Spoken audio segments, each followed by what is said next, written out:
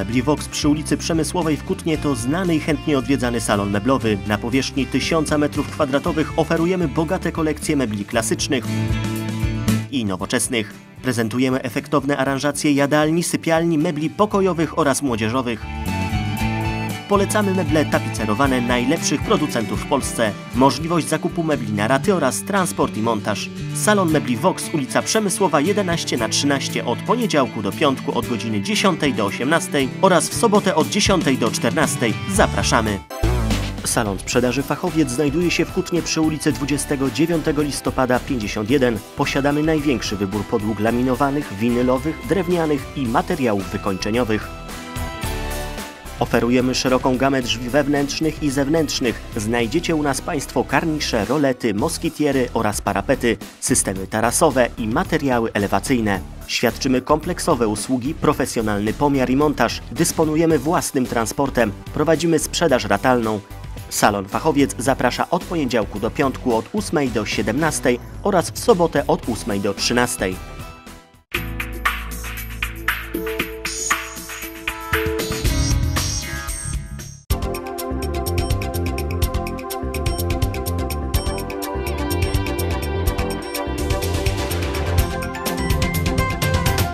Pokazy sztuki władania ogniem, klimatyczne spektakle dla dzieci oraz warsztaty kuglarskie. W weekend mieszkańcy Kutna wzięli udział w festiwalu Fireproof. Tegoroczny festiwal ognia Fireproof rozpoczął się w piątek o godzinie 18 kolorową paradą. W marszu, który przeszedł przez Plac Wolności, ulicę Królewską i Plac Piłsudskiego, udział wzięli organizatorzy, kuglarze oraz mieszkańcy. Pół godziny później na scenie rozpoczął się koncert pod tytułem Kutnowscy muzycy dla niepodległej. Następnie zagrał zespół Sztywny Pal Azji.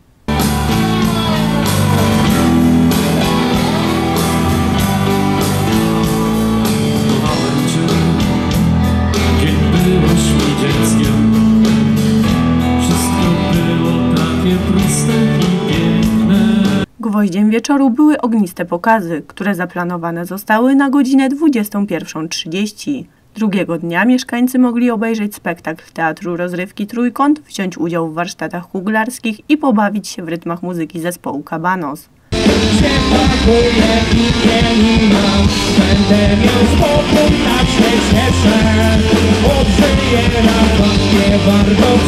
się Podobnie jak pierwszego dnia, na koniec zaprezentowała się druga tura wykonawców. Dziewiąty festiwal ognia Fireproof w Kutnie wygrali w kategorii solistów Weronika Przybylska, a w kategorii zespołów Easy Slide.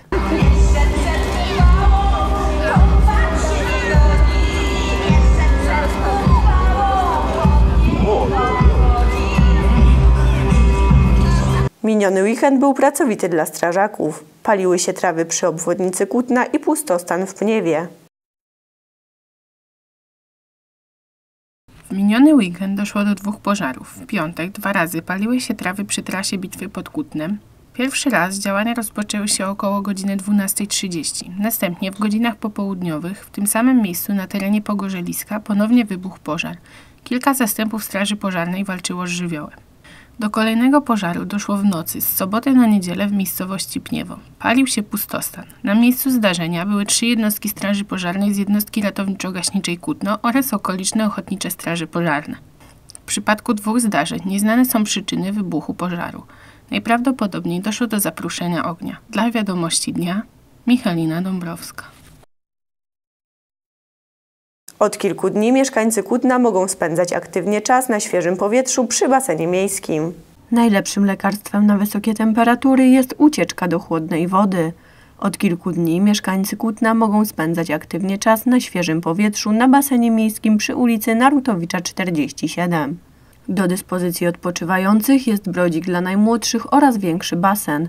Obiekt jest ogrodzony, a bezpieczeństwa nad wodą pilnują ratownicy. Najmłodsi pływacy powinni jednak przebywać pod nadzorem rodziców. Z atrakcji mogą korzystać wszyscy w godzinach od 10.30 do 18.00. Wstęp na teren pływalni jest bezpłatny.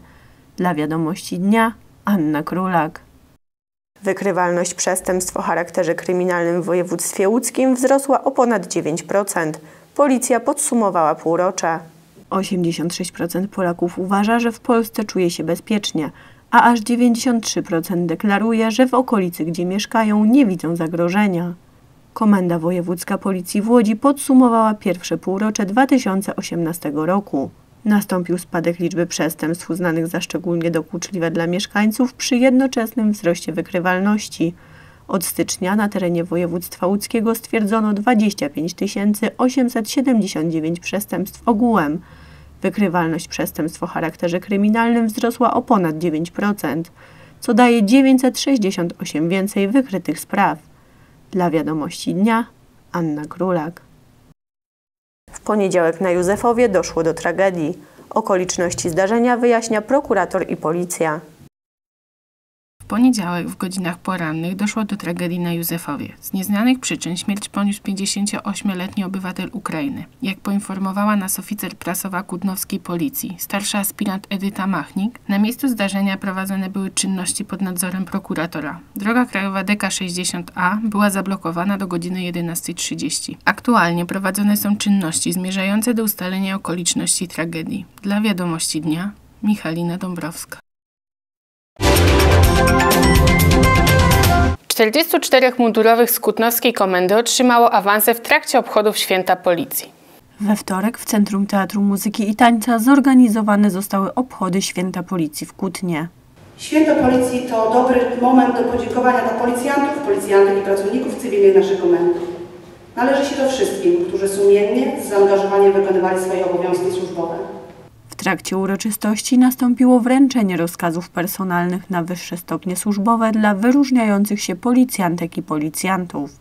Awans otrzymało 44 mundurowych. Staramy się być sprawiedliwi, staramy się być uczciwi, staramy się być profesjonalni w swoich działaniach. I mam tą przyjemność powiedzieć, że moi policjanci tacy są. Z dumą wręczałem dzisiaj te nagrody kolejnych awansów.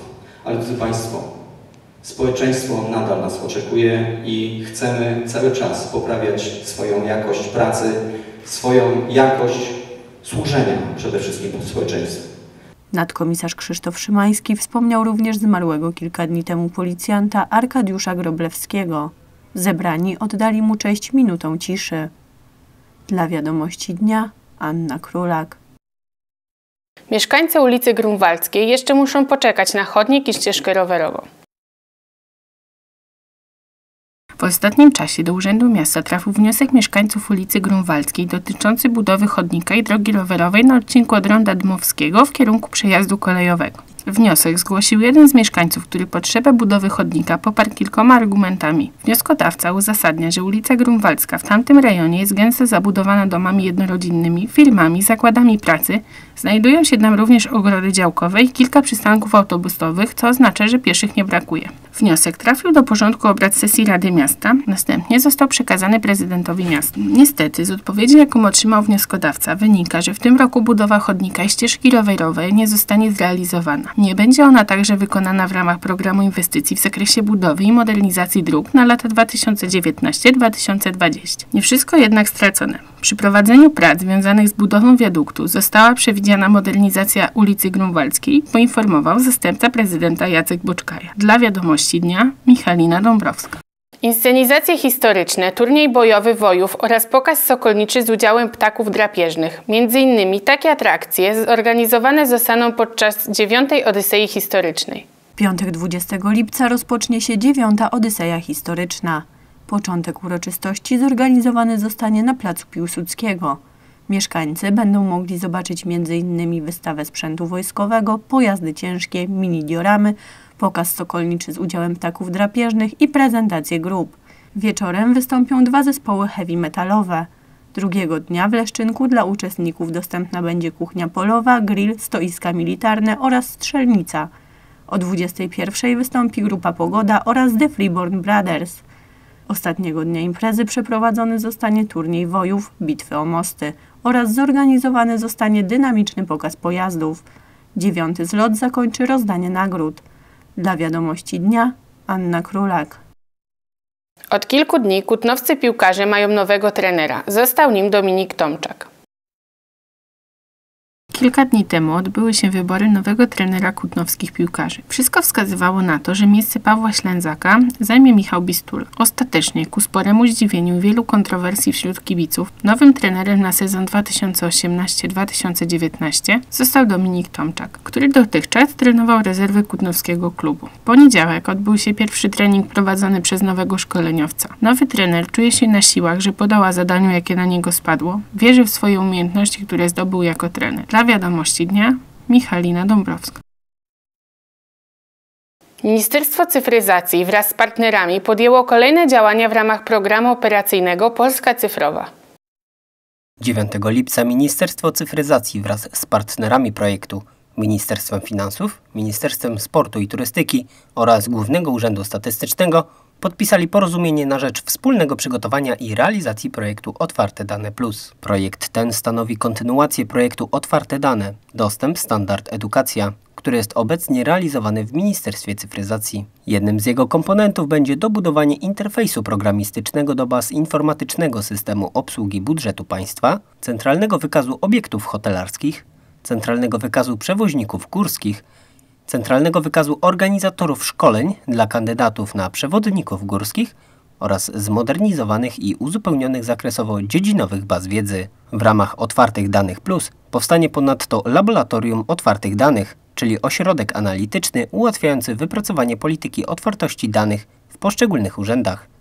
Dodatkowo utworzenie Akademii Otwartych Danych, czyli kursu dla dysponentów danych zajmujących się udostępnianiem i wykorzystywaniem danych publicznych, pozwoli zapewnić najwyższej jakości dane na portalu danepubliczne.gov.pl. Zamieszczone tam zostaną również narzędzia ułatwiające pracę pełnomocników do spraw otwartości danych oraz współpracę z nimi. Porozumienie na rzecz wspólnego przygotowania i realizacji projektu Otwarte Dane Plus zostało zawarte w ramach działania Cyfrowa Dostępność i Użyteczność Informacji Sektora Publicznego w ramach programu operacyjnego Polska Cyfrowa. Dla Wiadomości Dnia Paweł Albiniak. W najbliższe święto Róży wszyscy mieszkańcy znajdą coś dla siebie. Przedstawiciele magistratu oficjalnie poinformowali, jakie gwiazdy zaśpiewają w mieście Róż. Kutnowski magistrat oficjalnie poinformował, jakie gwiazdy uświetnią tegoroczne święto Róży. Jedną z wokalistek będzie legenda polskiej muzyki Maryla Rodowicz. 8 września, sobota, rozpoczynamy koncertem zespołu Łąki Łam. E, Następnie myślę, że no, główna gwiazda Święta Róży, Maryla Rodowicz. To jest sobota i w niedzielę zespół Sarsa i na koniec Koma. Także mam, myślę, że to są też cztery takie propozycje, że i dla młodych, i dla starszych, na Maryla Rodowicz to chyba dla, dla całych rodzin jest to wydarzenie. Występy z dużej sceny to nie koniec muzycznych atrakcji. Dodatkowo zorganizowane zostaną koncerty na Placu Piłsudskiego. Między innymi wystąpi grupa Nowa Kultura, Kapela Brodów, Warszawska Orkiestra Sentymentalna oraz Zespół Pieśni i Tańca Ziemi Kutnowskiej. Piątek i sobotę gramy dłużej. E, W poprzednich latach e, odbywały się dwa koncerty, kończyliśmy o godzinie 22. E, W tym roku zmieniliśmy, będziemy grać do 23, ponieważ ten plac co roku żyje praktycznie do godziny 12. Na Placu Wolności stanie Luna Park z Czech. Uroczyste otwarcie 44. Święta Róży zaplanowane jest na godzinę 18 7 września. Dla wiadomości dnia Anna Królak. Właściciele gospodarstwa z Chochołowa otrzymali pierwszą nagrodę wojewody łódzkiego w kategorii gospodarstwo rolne. Co roku organizowany jest konkurs Nagroda Gospodarcza Województwa Łódzkiego. W tym roku odbyła się już 15 edycja. Wśród nominowanych w kategorii gospodarstwo rolne znaleźli się państwo Karolina i Cezary Kowalscy, mieszkańcy Chochołowa z powiatu kutnowskiego, którzy zajęli pierwsze miejsce w konkursie. Od 2005 roku prowadzą oni gospodarstwo rolne. Hodują krowy mleczne. Obecnie gospodarstwo liczy ponad 600 sztuk bydła. Wspólnie e, zaczęliśmy e, prowadzić gospodarstwo e, w 2005. W początku w gospodarstwie były krowy mleczne. Zaczynaliśmy w sumie od 25 krów. Na dzień dzisiejszy jest w stadzie ponad 600 sztuk bydła. Wielkim zaskoczeniem było dla laureatów, że zajmą pierwsze miejsce. Są bardzo zadowoleni, ponieważ jest to dla nich uhonorowanie ciężkiej pracy, serca, jakie wkładają w prowadzenie gospodarstwa. Byliśmy bardzo zaskoczeni.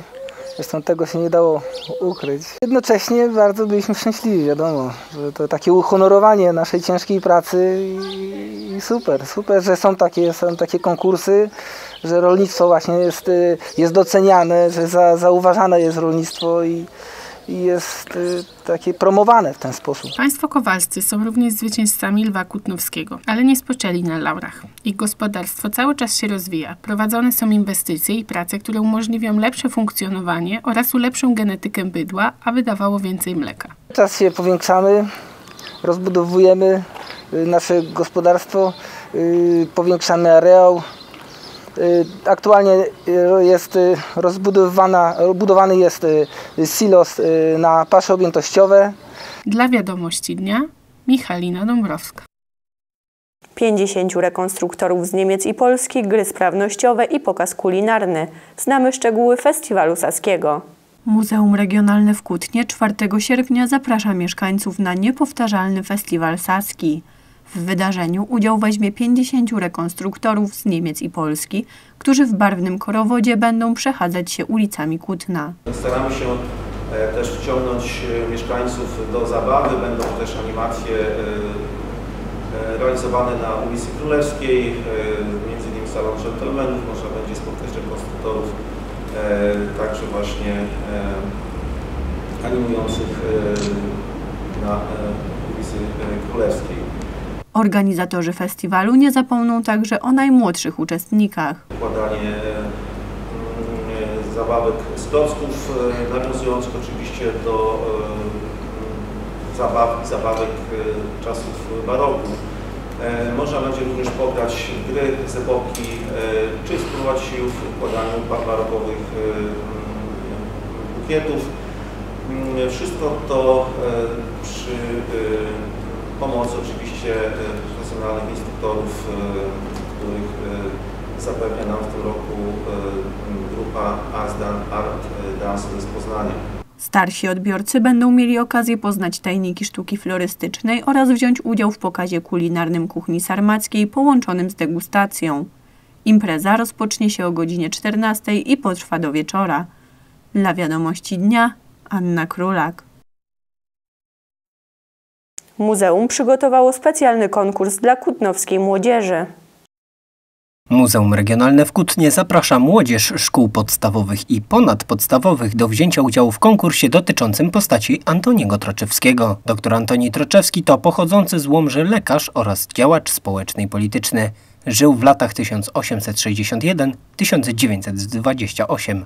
Do naszego miasta przybył w 1891 roku. Zadanie polega na stworzeniu prezentacji multimedialnej lub filmu trwającego do 10 minut dotyczącego życia i działalności znanego kutnowskiego doktora. Pracę można składać do 10 października 2018 roku w Muzeum Regionalnym w Kutnie. Dla wiadomości dnia Paweł Albiniak. Do końca listopada lekarze mogą wystawiać jeszcze papierowe zwolnienia według dotychczasowych zasad. Lekarze, którzy wystawiają zwolnienie lekarskie w formie elektronicznej, mówią swoim pacjentom, że informacja o tym trafi do pracodawcy i ZUS online. Jednak w kilku przypadkach oprócz zwolnienia do otrzymania zasiłku wymagane jest złożenie przez ubezpieczonego wniosku o jego wypłatę. Jeśli pacjent posiada konto na PUE ZUS, może wniosek wysłać elektronicznie. Jeśli go nie ma, musi udać się do oddziału. Złożenie takiego wniosku w konkretnych przypadkach jest konieczne z uwagi na mm, specyfikę sytuacji ubezpieczonego. Zwykle w okresie zatrudnienia wniosek o wypłatę świadczenia przesyła do ZUS-u pracodawca. Pracownik nawet może nie zdawać sobie z tego sprawy, że e, pracodawca dokonuje takiej czynności. Sytuacja się zmienia, kiedy zatrudnienie ustaje i pracodawca przestaje już obsługiwać e, kadrowo byłych pracowników. Mimo, że zwolnienie byłego pracownika wpłynie elektronicznie do ZUS-u od lekarza, który je wystawił, to do realizacji wypłaty zasiłku chorobowego będzie brakowało podstawowego dokumentu, czyli wniosku o jego wypłatę. Samo zwolnienie wystawione przez lekarza nie jest jeszcze roszczeniem o wypłatę zasiłku chorobowego. Konieczny jest wniosek, który po ustaniu zatrudnienia powinien złożyć sam ubezpieczony i może zrobić to na formularzu ZAS 53. Istnieją jeszcze inne sytuacje, w których mimo wpływu elektronicznego zwolnienia do ZUS należy samemu wypełnić i przekazać do ZUS-u wniosek o wypłatę zasiłku chorobowego. Taki wniosek powinien sam wypełnić i przekazać do ZUS-u pacjent, który prowadzi działalność pozarolniczą bądź jest osobą współpracującą, jest duchownym, pacjent, którego niezdolność do pracy z powodu choroby przypada już po ustaniu zatrudnienia, czyli po ustaniu tytułu do ubezpieczenia. Podlega ubezpieczeniom społecznym w Polsce z tytułu zatrudnienia u pracodawcy zagranicznego, który nie ma siedziby w Polsce. Do końca listopada bieżącego roku lekarz może wystawić jeszcze papierowe zwolnienie według dotychczasowych zasad, czyli na druku ZUS ZLA. Pacjent takie zwolnienie musi dostarczyć do pracodawcy, jeśli jest e, pacjent oczywiście pracownikiem, albo bezpośrednio do ZUS-u, na przykład wtedy, jeżeli jest osobą prowadzącą działalność gospodarczą. Ma na to 7 dni od daty wystawienia zwolnienia. Jeżeli przekroczy ten termin, wypłata zasiłku chorobowego lub opiekuńczego zostaje obniżona o 25% za okres liczony od 8 dnia zwolnienia do dnia jego dostarczenia do ZUS. Po wejściu w życie obligatoryjnego sposobu wystawiania zwolnień w postaci EZLA, przepisy dotyczące obniżenia zasiłku przestaną obowiązywać. Dla wiadomości dnia, Paweł Albiniak. W najbliższych dniach na kilku kutnowskich ulicach oraz na terenie gminy Żychlin wystąpią przerwy w dostawie prądu. W najbliższych dniach na kutnowskich ulicach wystąpią przerwy w dostawie energii elektrycznej. 12 lipca w czwartek mieszkańcy takich ulic jak Królowej Jadwigi, Orla, Warszawskie Przedmieście, Wilcza i Wronia nie będą mieli prądu w godzinach od 8 do 12. Kolejna przerwa w dostawie dotyczyć będzie mieszkańców ulicy Bukowej, Makowej, Łąkoszyńskiej, Łódzkiej, Łubinowej w dniach 16 i 17 lipca od godziny 9 do 15. Na terenie gminy Żychlin w miejscowości Dobrzelin zaplanowano przerwę w dostawie prądu w dniu 14 lipca. Dla wiadomości dnia Michalina Dąbrowska.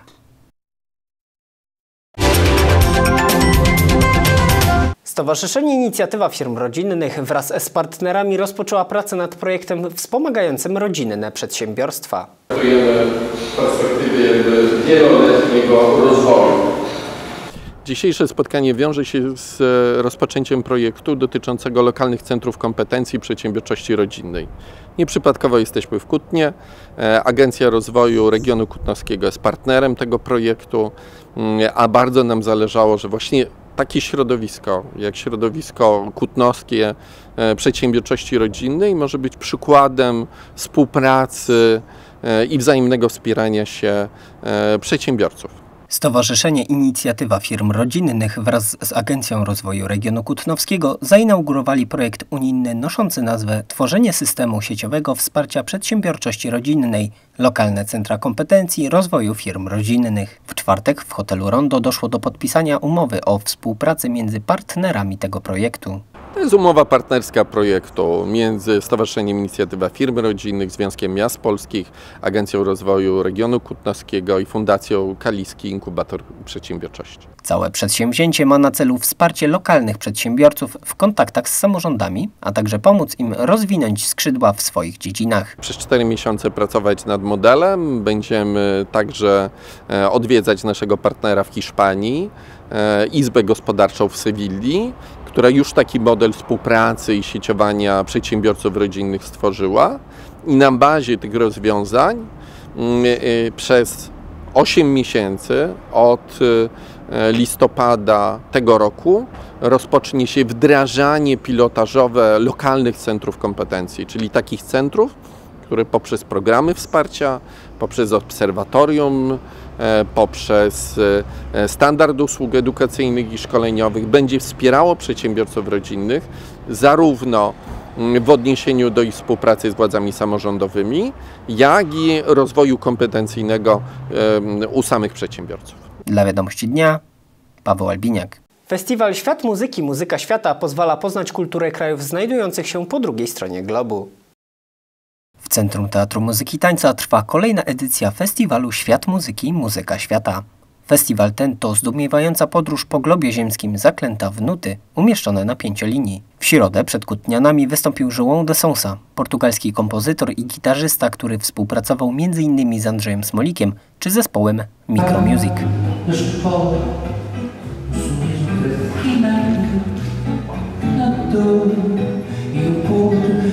Porque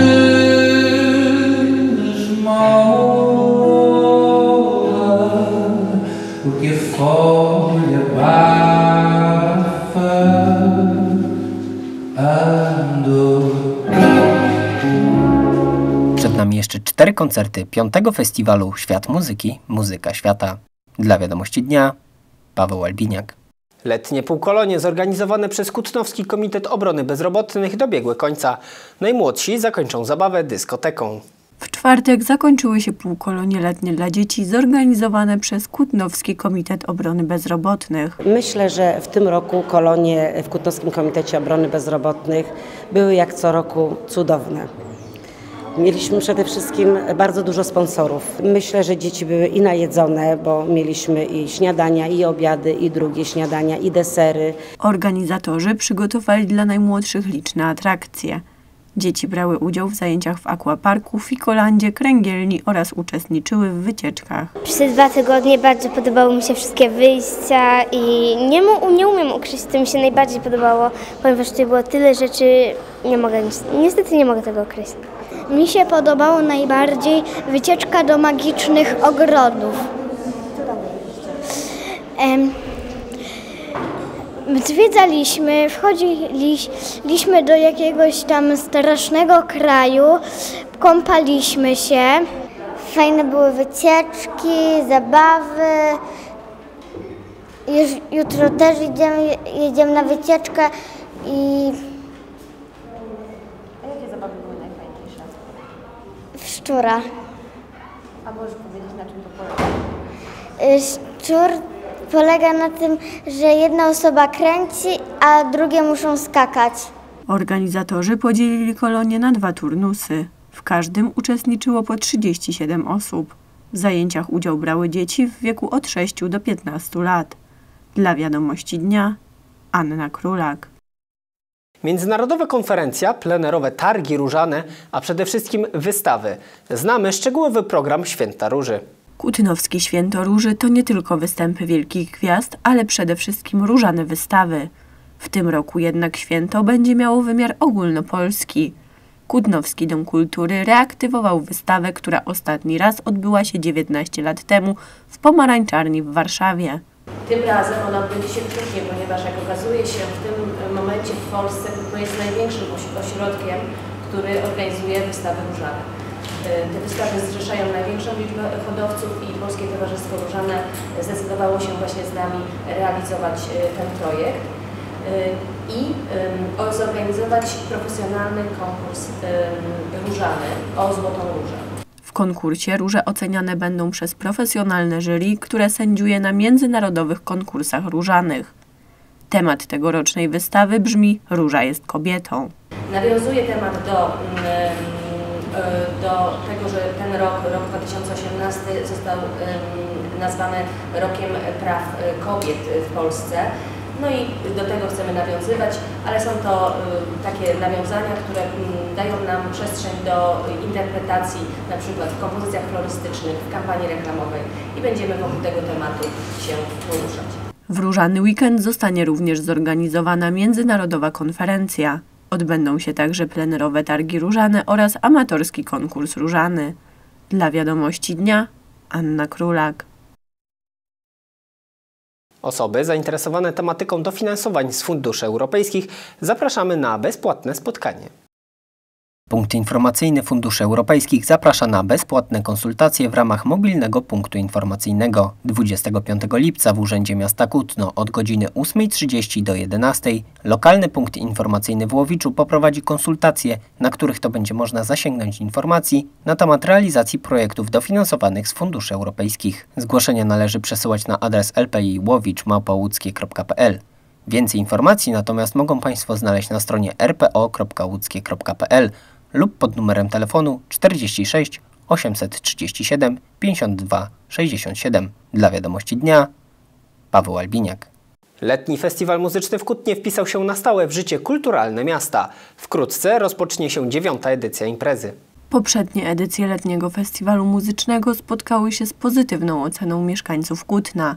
Za dwa tygodnie występy rozpoczną się ponownie. Organizatorzy zaplanowali 17 zdarzeń artystycznych. W koncertach udział weźmie ponad 80 muzyków. Zaplanowaliśmy trzy piękne galowe koncerty.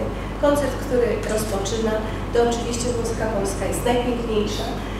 I chcę Państwu powiedzieć, że w każdym z koncertów będzie muzyka polska, ale są koncerty, które są dedykowane tylko i wyłącznie muzyce polskiej. Będą trzy takie koncerty. Myślę, że to wyjątkowa e, okazja, aby taki repertuar zaprezentować. Festiwal rozpocznie koncert plenerowy Muzyka Polska jest najpiękniejsza w stulecie odzyskania niepodległości. Następnie e, będzie Gala Młodych Talentów, również jako koncert plenerowy, kończąca mm, warsztaty wokalne i Gala Trzech Tenorów. W ubiegłym roku Gala Trzech Sopranów, która się Państwu bardzo podobała, w tym roku Gala Trzech Tenorów. To są koncerty plenerowe. Koncerty zorganizowane zostaną także m.in. w Centrum Teatru Muzyki i Tańca, Kościele Świętego Wawrzyńca oraz Kościele Świętego Jana Chrzciciela. Dla wiadomości dnia Anna Królak. Rozpoczęła się trzecia edycja akcji charytatywnej Wakacje z muszkieterami. W niedzielę dwoje dzieci z powiatu kutnowskiego rozpocznie swoje kolonie. W najbliższą niedzielę, 15 lipca, na bezpłatne kolonie do Puszczy Kampinoskiej z powiatu kutnowskiego wyjedzie dwoje dzieci. Wypoczynek zorganizowany jest przez właścicieli takich sklepów jak Brigo Marché i Intermarché. Dzięki Fundacji Muszkieterów dzieci z powiatu kutnowskiego rozpoczną swoje wakacje. Jest to już trzecia edycja akcji charytatywnej pod tytułem Wakacje z muszkieterami. Dla dzieci biorących udział w koloniach zostało przygotowanych bardzo dużo zajęć. Wśród atrakcji znajdują się m.in. gry i zabawy sportowe, kilka wycieczek m.in. do Warszawy. Łącznie w akcji weźmie udział 750 dzieci z całej Polski. Dla wiadomości dnia Michalina Dąbrowska. W czwartek policjanci ruchu drogowego prowadzili ogólnopolskie działania kontrolno-prewencyjne. Niechronieni uczestnicy ruchu drogowego. Akcja ma na celu poprawę bezpieczeństwa pieszych i rowerzystów. Trwa sezon rowerowy. Oznacza to, że miłośnicy jednośladów powinni pamiętać o zasadach bezpieczeństwa na drodze. Z przypomnieniem postanowili przyjść kudnowscy policjanci, którzy w czwartek prowadzili działania niechronieni. Podczas akcji funkcjonariusze obserwują grzechy kierujących rowerami i podejmują odpowiednie środki, żeby ich zdyscyplinować, a w konsekwencji nie dopuścić do tragedii na drodze. Do większości wypadków, w których poszkodowani są rowerzyści, przyczyniają się jednak kierujący, głównie samochodami osobowymi. W znacznej mierze wypadki te powstają z powodu nieudzielenia pierwszeństwa przyjazdu rowerzyście lub nieprawidłowego wyprzedzania. Zwolennicy podróży na dwóch kółkach muszą pamiętać, że korzystanie z jednośladu, oprócz niewątpliwej przyjemności, obciążone jest balastem przepisów, do których rowerzyści powinni się stosować.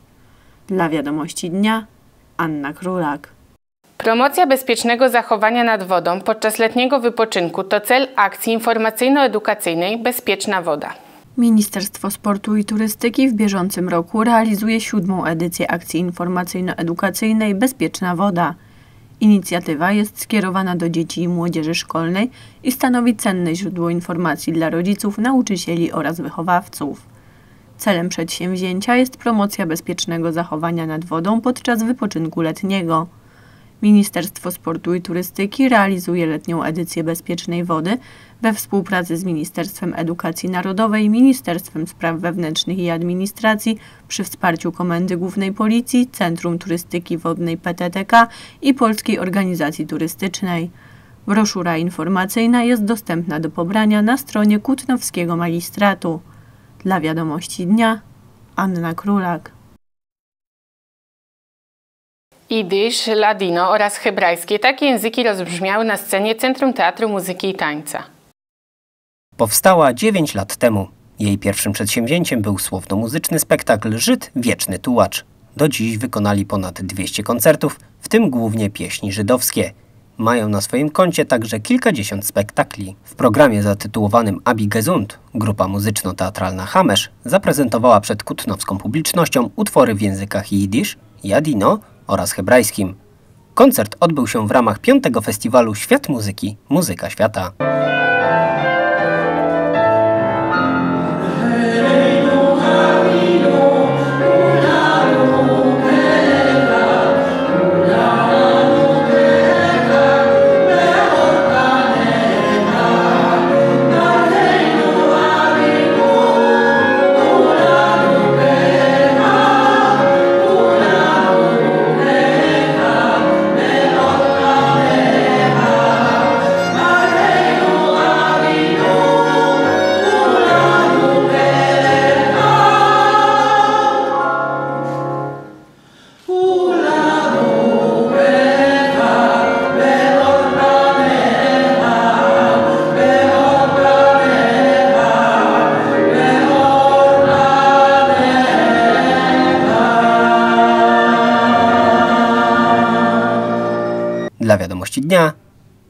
Albiniak. Czwartki z rodziną to akcja organizowana przez Kutnowski MOPS. Warsztaty plenerowe będą odbywać się przez całe wakacje w różnych częściach miasta.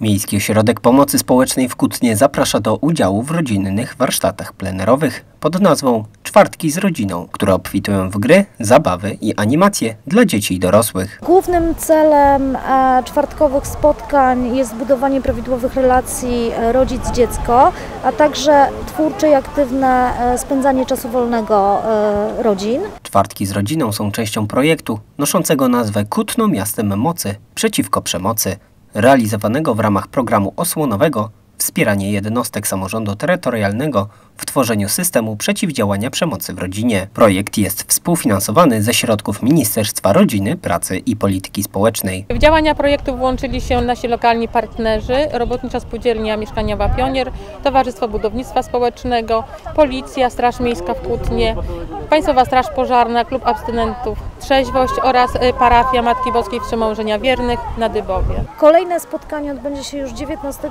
lipca na Placu Zabaw na osiedlu Grunwald, na które już z tego miejsca serdecznie zapraszamy. Dla wiadomości dnia Paweł Albiniak.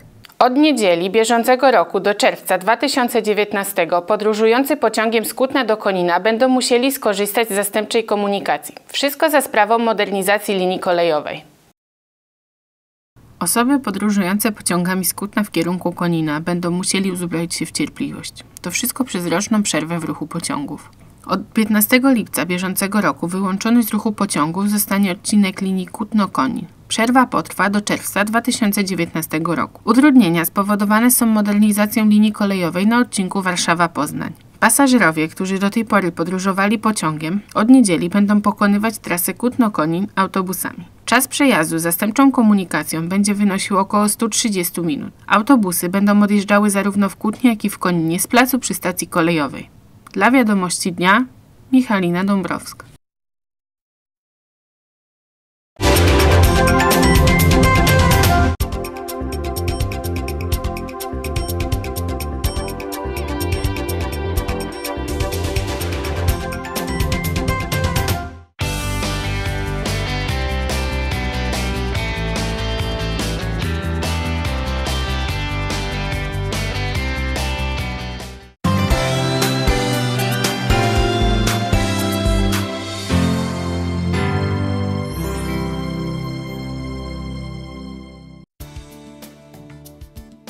Nocy zachmurzenie umiarkowane z przelotnymi opadami. Temperatura 15 stopni w całym regionie.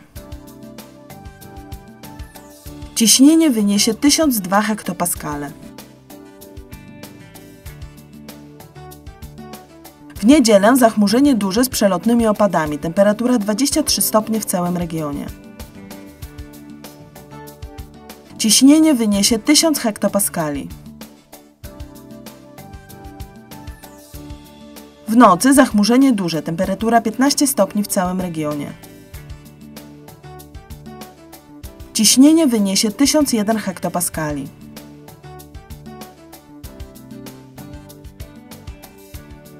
W poniedziałek zachmurzenie umiarkowane z przelotnymi opadami, temperatura 25 stopni w całym regionie. Ciśnienie wyniesie 995 hektopaskali.